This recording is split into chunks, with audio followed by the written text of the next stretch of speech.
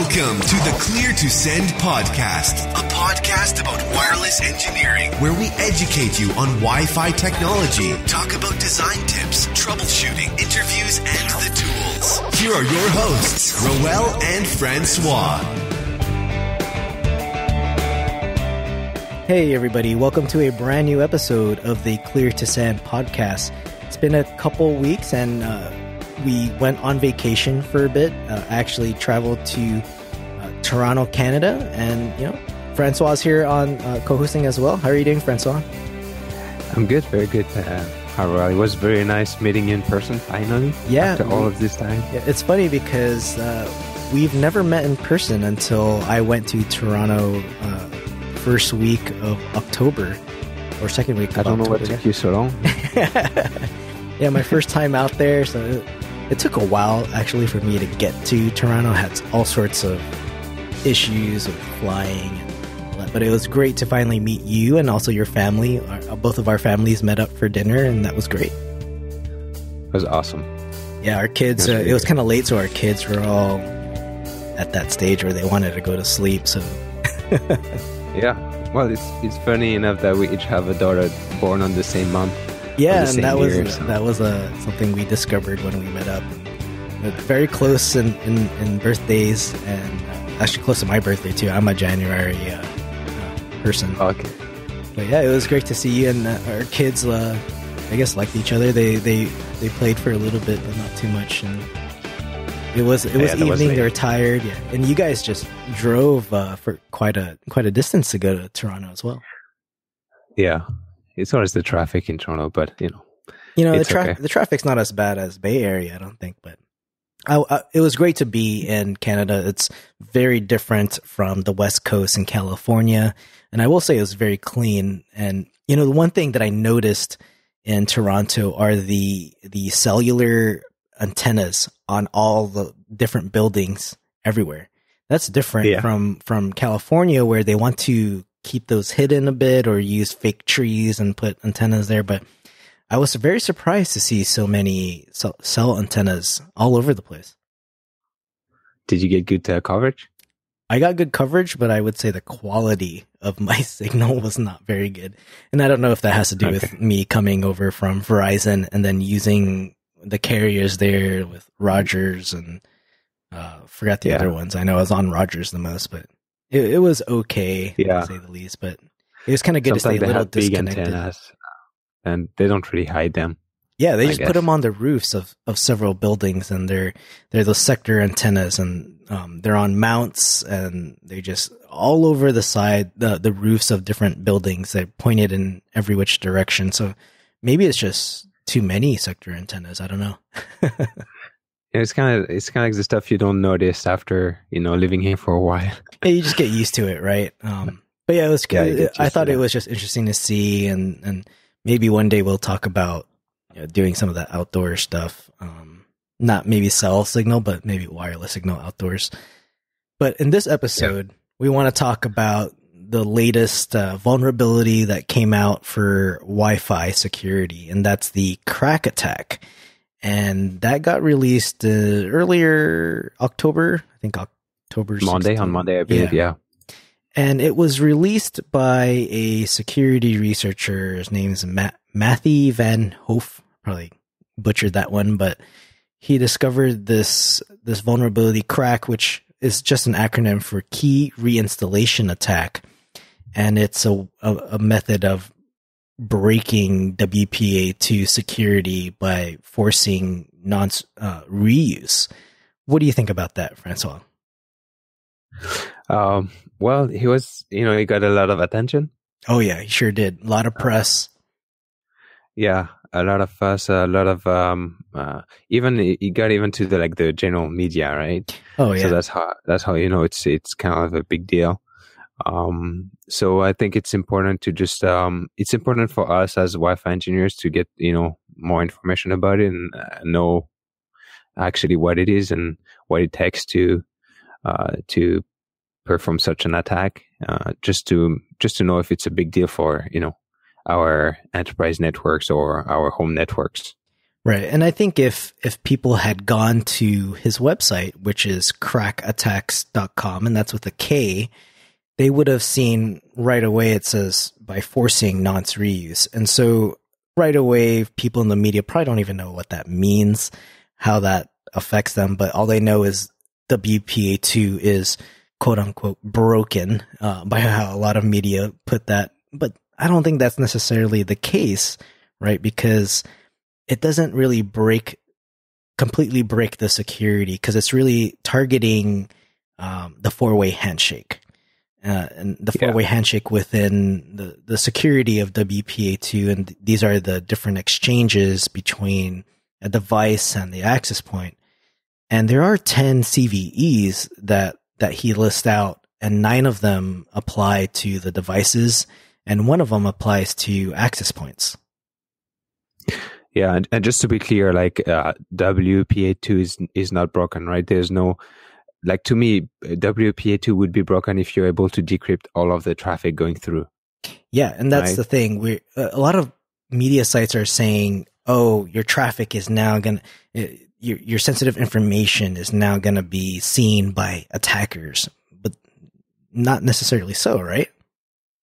Yeah, so what happens here if you're able to uh, pull off the attack, you'll be able to decrypt the uh, the first few packets that has been, um, you know, encrypted using the same uh, key stream. So it's not going to be the full communication. It's going to be the first uh, few packets sent by the clients.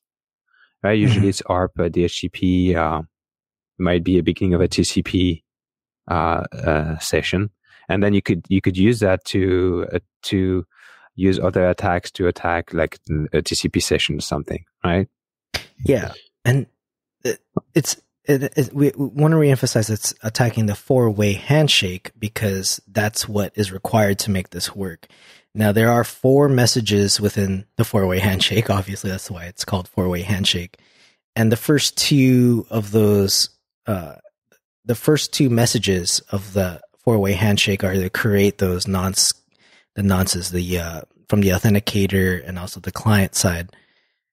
And if you do a frame capture of, let's say, your home network, you're using WPA2 and you're using PSK, if you capture some frames on the same channel of your device that associates to the AP, you will see those four messages come across the wire or come across the Wi-Fi. And then it is message number three in which the KRACK attack focuses on. And that's how it does its uh, reinstallation attack. But first, let's talk about how it even gets to message number three, right? Because I think this attack is complicated. It's not very easy to pull off. So for the client side, because most, it's pretty much the clients that are affected, there needs to be a man in the middle attack first, right, Francois?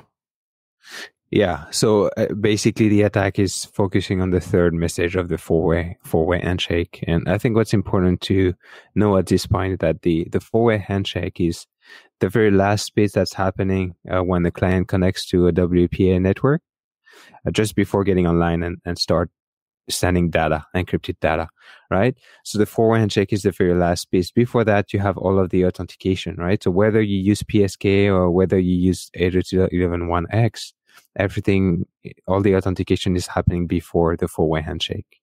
Mm-hmm. Right. So here we're only focusing on the very end. And this is why, you know, it's affecting most of the clients. Most of the clients, yeah, because it's the we, message that goes yeah. back to the client, and it's where yeah. you install your your PTK, which is the pairwise transient key, and and that's where it's that's the attack is it's forcing the reinstallation of that key.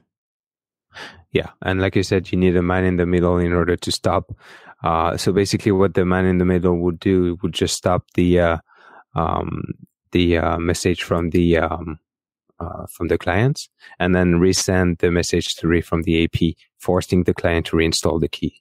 Yeah, and basically, you got to get this client to join your uh, the the attacker's uh, spoofed network, which is it's going to spoof an AP and trick a client into thinking that it needs to join that that that it's part of that AP's connection, right? So when the client's speaking, it's the the man in the middle attack, the the attacker is going to let those first two messages go through, and then it's gonna yeah, so, prevent that third message.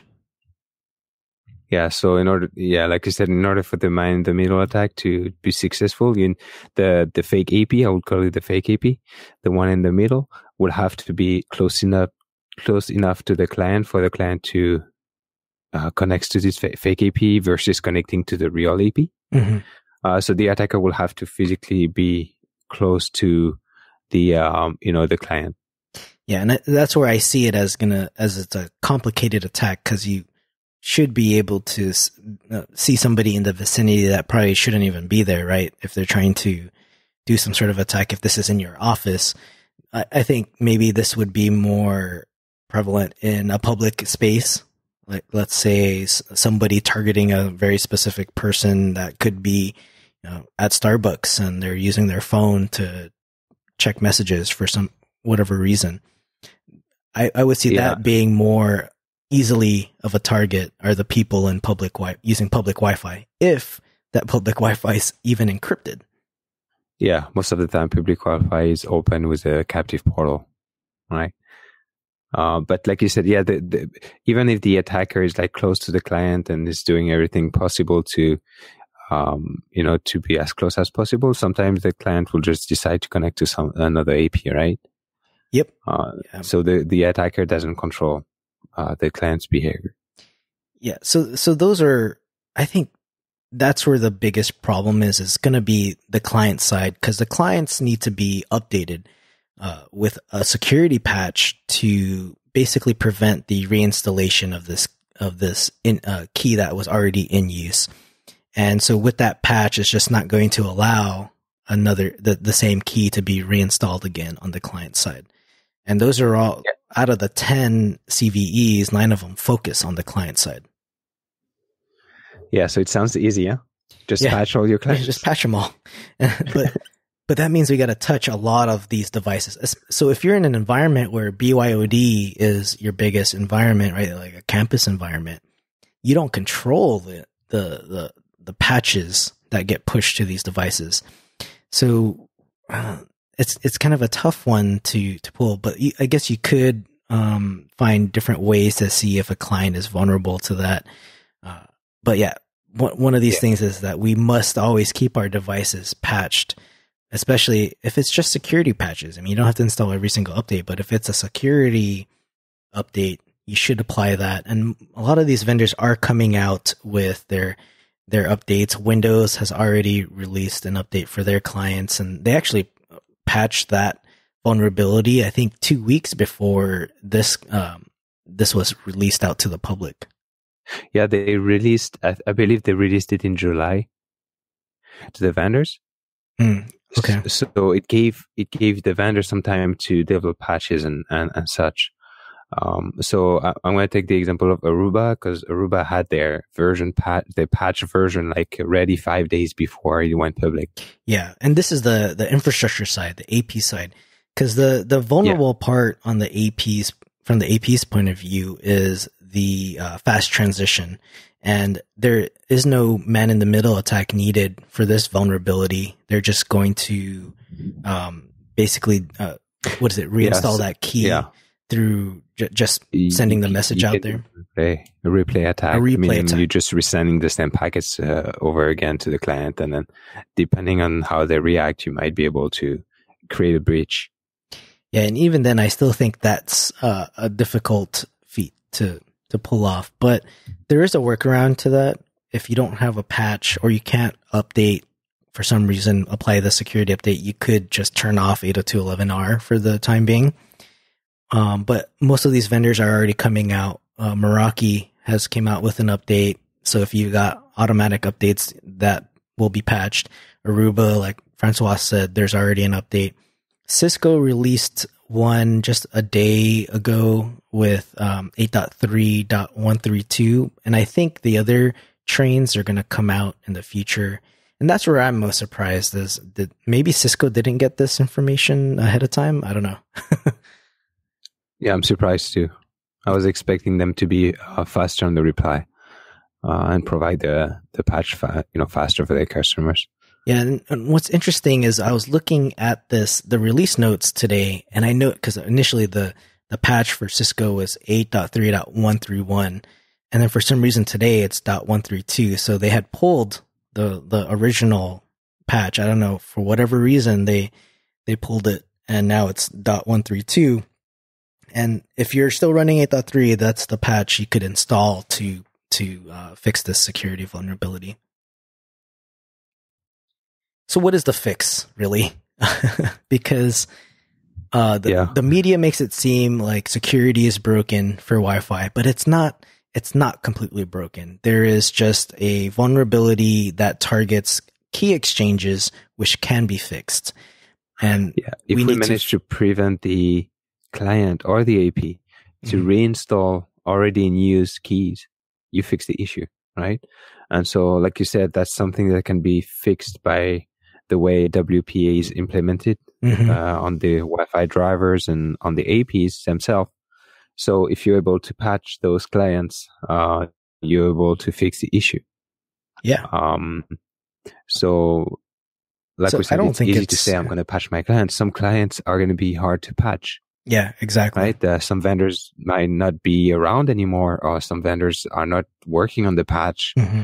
Um, maybe some IoT devices will never get patched. Yeah, and that's the scary part right? is it, it becomes a bigger issue, right? It's not just because of this specific vulnerability because you know, like if you're one of the questions is going to be, well, if let's say the the the refrigerator has a Wi-Fi car, Wi-Fi card in there and it's vulnerable, what is an attacker really going to gain from from hacking that device or hacking the doing a man in the middle with that device. But the bigger issue is how we do security for devices that are all going to join Wi-Fi. And if you don't control security updates for these devices, who do we look to in order to make sure these security updates are released in a timely fashion and easily installed on all of these devices so that way your network is secure because I think that's the bigger problem. It's I think it's easy for organizations to patch their own infrastructure. You know, your wireless LAN controllers, your APs, those are easy to patch because you control those. those yeah. That's that's in your realm in your vicinity that you can easily patch. And you can hold vendors accountable to that, especially these big vendors because this is what we use day in and day out. But for someone carrying, you know, that IoT device with them or some phone that just never gets patched, what do we do in that case? And I think maybe we could use something like an intrusion detection system. I know there's signatures out there. Some vendors have created signatures to try to even find um, if someone is spoofing your your uh, BSSID and trying to do a man in the middle attack. I mean, that's just one layer of doing security. Yeah, I've I've uh, tried it on Aruba this week. They actually came out. Someone on Twitter came out with the code that you could implement in order for the IDS, the built-in IDS into the, the oh, built-in okay. controller to um uh, to detect uh, the spoofing and the uh, the mic the um, you know the attack, the man in the middle attack. Yeah, yeah, that's. I think that's something that should be implemented into all of our wireless LAN controllers or into all of our uh, whatever infrastructure we're using for Wi-Fi because it, if we're going to be deploying Wi-Fi out there for people to use, I think they actually require us to be the ones to secure it, right? If someone's going to use Wi-Fi, they expect us to secure it.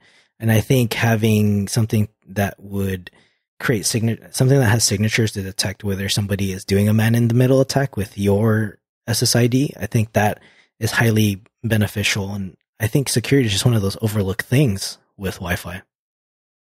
Yeah, that's definitely something we should uh, at least at least you know report and send send a, an alert about.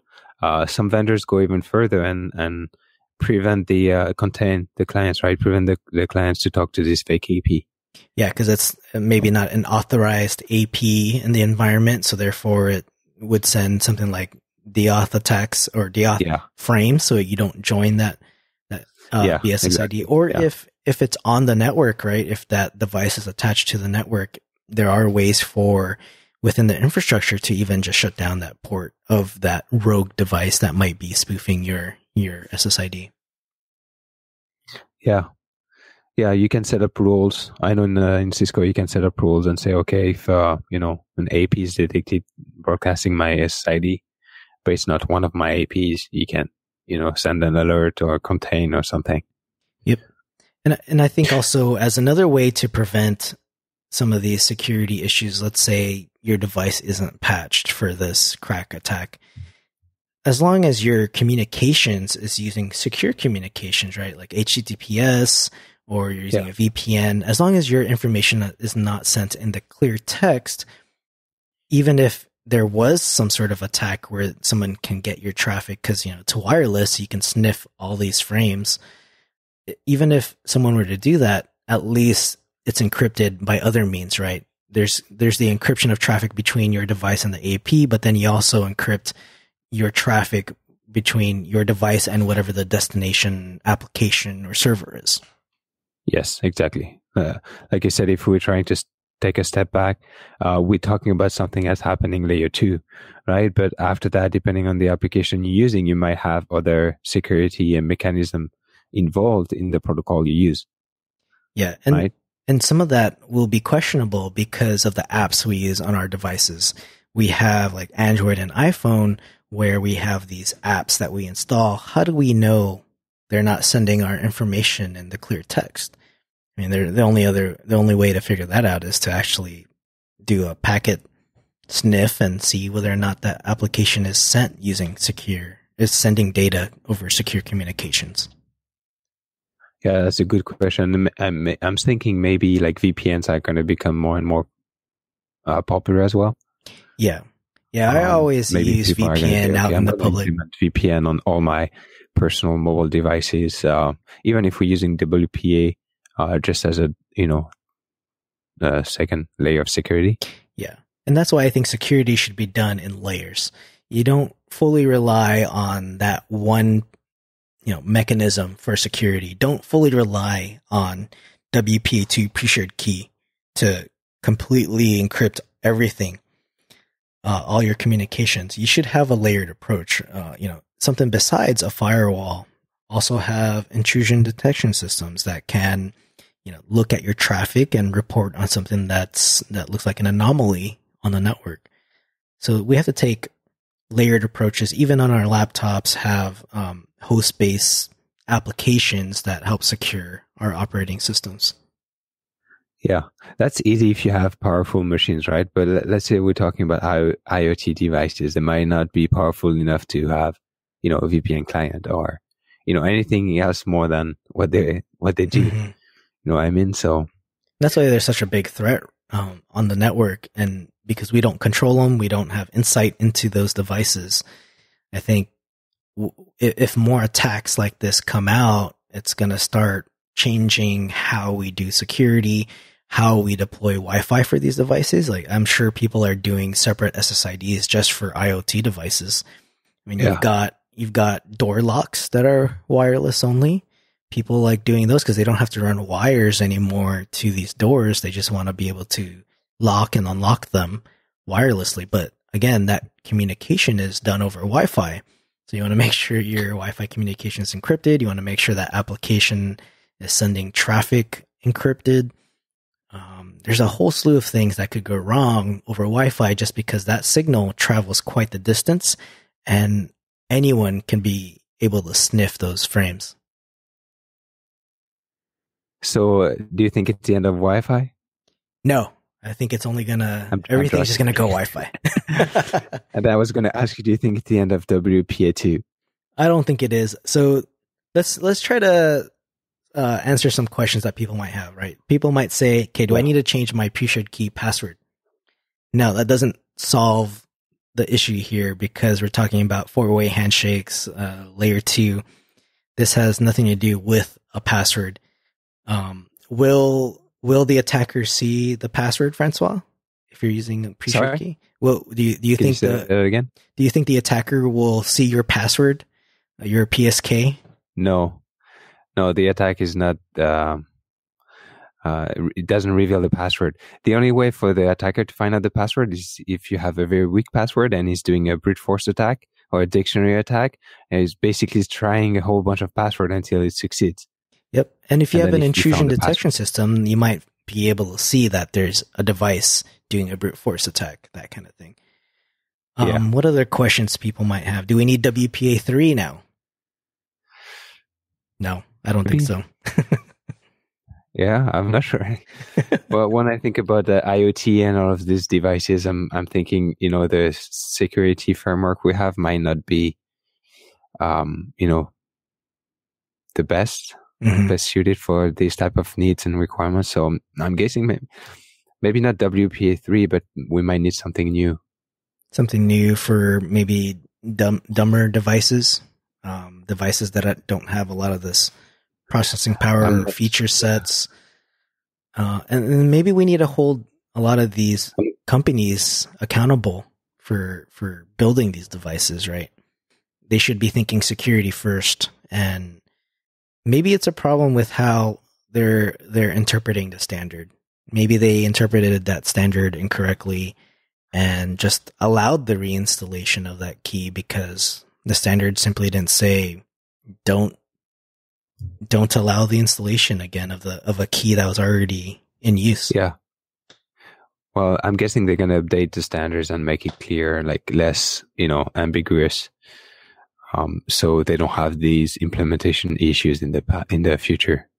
And I, I think that's where a lot of the problems we have with devices come from anyways is there there isn't much direction. It's more of a it's the ambiguity of it is people Yeah. leaving leaving room for other people to uh, interpret that with their own with their own Exactly. words. But when you think about network protocols and and uh, you know attackers and or trying to find a way of vulnerability and of something wrong, it's always like you have the people working on the protocols and it's a, it's very straightforward. You know, you do this and then you do that and then it will do this and then this packet will be sent and so on. And then the attackers just try to think out of the box. You know, what if I send this packet twice? What if I send this packet with, you know, nothing in it? Mhm. you know and then that's basically how they always find uh the vulner- vulnerabilities Yeah, and th- Um, those are the kind of it's- people it's, we it's need. hard for the IEEE to just think about you know how to build a protocol and also try to think about okay Security. what if I try to think out, outside of the box and find all of the little think about you know what I mean yeah, the little little details within that language there that might create the hole or the vulnerability. I think that's where they need to focus on in, in future standards is getting getting more security professionals involved in in creating that standard. But I don't know, maybe they do do that. I mean, it's uh, and that's you know that's when security is very um that's when it bec- it becomes handy and i hope like they're going to learn from this and make it uh, better for the next um release or amendment or, or something and it was really nice from uh, uh matthew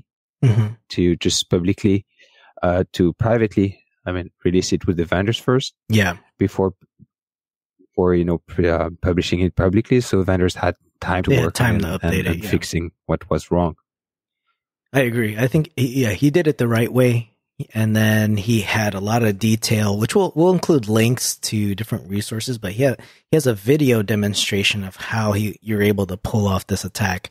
But he did uh, tell the vendors ahead of time before releasing the information, so he did a great job. And his documentation and his white paper, it's it's very detailed and, and done very well. and I believe he released the code for his um his attack, so you could replay it in the lab, Yeah, uh, just to make sure you fix the issue. you know, right. the, ir- ironically, that's he had nice. a leak somewhere, and somebody released that information. Yeah, So- somebody did the attack on his own network and found that information. well, what Yeah. what do you think it's going to do to security?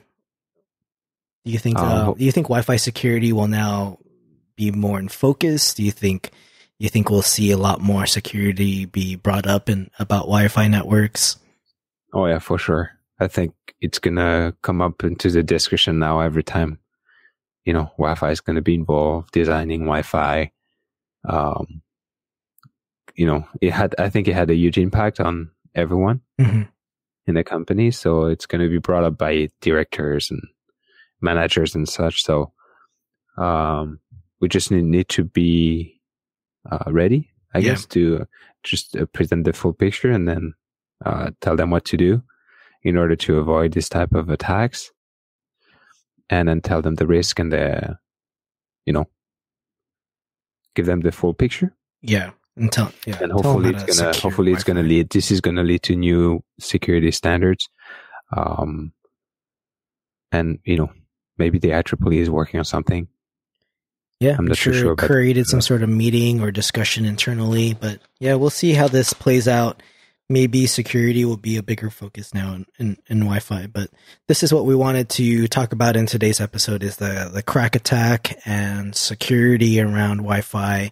Some things that we wanted to talk about were, you know, what, what should, should you be freaking out? And the answer is no, you shouldn't be freaking out. This is not, I don't think this is as big as it's played out to be uh, especially on the in the media side. Uh, and it, media just does that, right? They don't fully understand like key reinstallation attacks, but that's where we come in and we calm everyone down and say, look, it's a complicated attack. There's ways to fix this. Here's how you fix it. And we leave it to people to, you know, we give them the solution. They just need to go and act on it. But that's our episode on uh, KRACK Attack and WPA2. Francois, where can everyone find you? Uh, on Twitter Vergès Francois my last name my first name and then on my website semfionetworks.com uh, I actually published a couple of articles on KRACK this week so you can go to semfionetworks.com slash blog um, yeah very useful uh, videos from Mojo Networks that explains everything in details. Uh, also linked to the research paper if you are if you feel like you want to read the, the paper, it gets all the details from uh, the researcher. And um, I believe you also wrote a little blog article about Uh, KRACK. I wrote a, a small blog article, kind of focused more towards people who don't fully understand what this even means. So I didn't try to include a lot of technical detail. I tried to answer some of the basic questions that we answered in this episode. And you can find that at packet6.com slash blog. You can find me on Twitter at Rowell Dionicio. And of course, you can find both me and Francois on, on Twitter through the Clear to Send Twitter account. So once again, thank you guys for listening. If you have any questions, head over to the show notes. This is going to be cleartosend.net slash 94. We're quickly approaching episode number 100. So that's Nice. that's that's going to be a big thing for us. But uh, we appreciate you guys listening to the show. Uh, appreciate all the fe- feedback. And if there's anything you guys want to hear from us or any topics you guys want to maybe join on the, the, the show and talk about, just let us know. And we will see you guys on the next episode. Thank you. See you guys.